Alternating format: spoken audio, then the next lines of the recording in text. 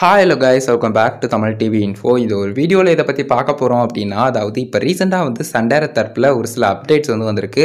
அந்த அப்டேட்ஸை பற்றி நீங்கள் என்ன நினைக்கிறீங்க அப்படிங்கிறத மறக்காமல் கமெண்ட்ஸில் லீவ் பண்ணுங்கள் பிகாஸ் இந்த ஒரு அப்டேட்ஸ் அது அந்த அளவுக்கு வந்து பார்த்தீங்கன்னா ஒர்த்தபிளானதாக வந்து பார்த்தீங்கன்னா இல்லை அப்படின்னு சொல்லலாம்.